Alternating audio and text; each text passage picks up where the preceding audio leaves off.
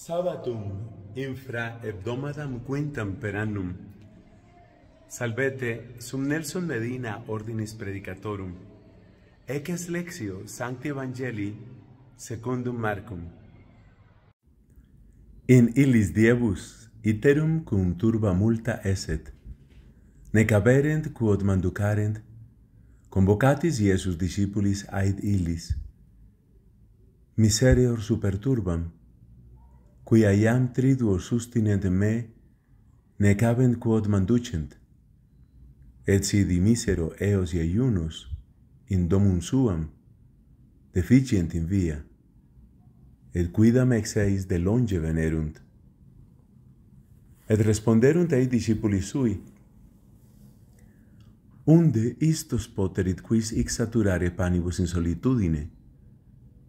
Et interrogabat eos, quod panes abetis, quid dixerunt septem, et precepit turbe discumbere supra terram, et accipiens septem panes, gratias agens fregit, et dabat discipulis suis ut aponerent, et aposuerunt turbe, et abebant pisciculos paucos, et benedicens eos, iusit os quoque aponi et manducaverunt et saturati sunt, et sustulerunt quod superaverat de fragmentis septem sportas. Erant autem quasi quatuor milia, et dimisit eos.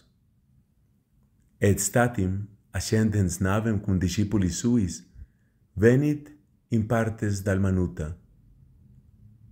Verbum Domini. Uno de aquellos días, como había mucha gente y no tenían qué comer, Jesús llamó a sus discípulos y les dijo, Me da lástima de esta gente. Llevan ya tres días conmigo y no tienen qué comer, y si los despido a sus casas en ayunas se van a desmayar por el camino. Además, algunos han venido desde lejos.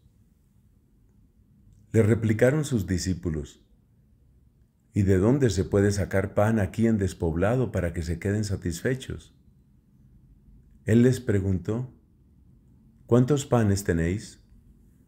Ellos contestaron, siete.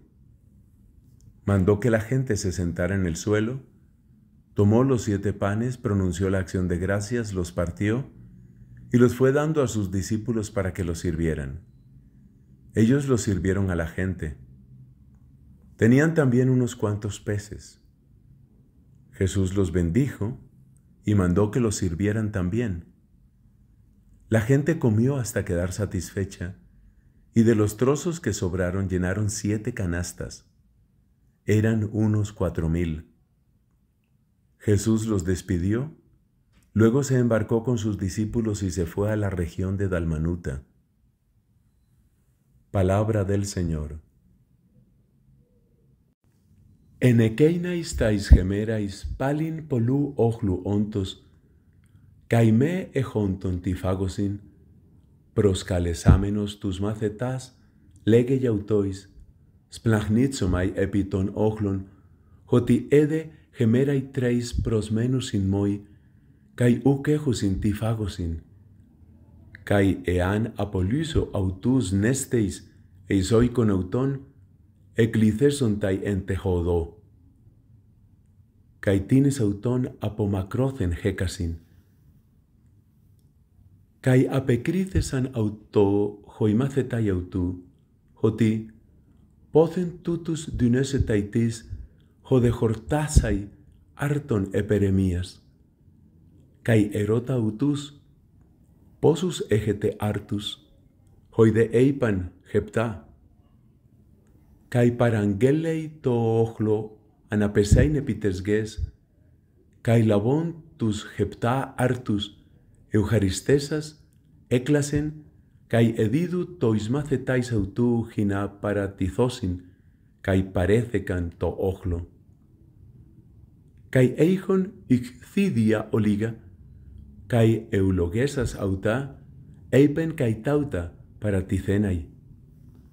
Καί έφαγον kai εχορτάσθεσαν, cae eran periseumata clasmaton hepta spiridas, esan dejos tetraquishilioi, cae apeliusen autus, cae euthius en vas eistoploion metaton maceton autu, elcen eistamere dal manutha.